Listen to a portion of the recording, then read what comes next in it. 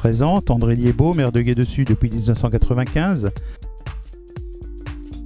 de Gué-de-Soie et Gué-de-Soise. Un environnement remarquable et on y tient précieusement.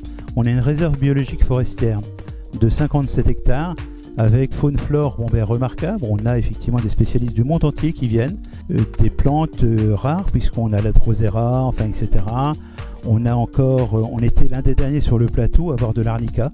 Et ce qu'on a cherché donc à faire il y a deux ans ici, faire prendre conscience aux habitants de la richesse de leur environnement.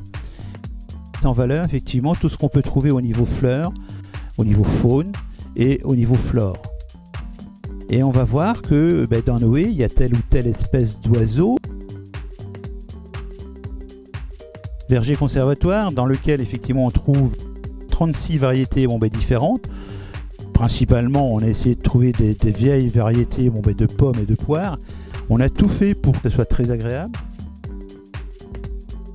Marie-Thérèse Duflot, euh, présidente de l'association La Maison d'Histoire du plateau de Rocroi et des Fagnes.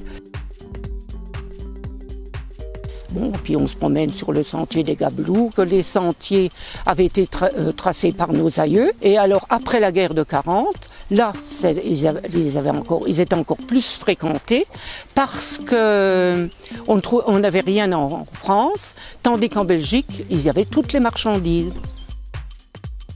les traditions.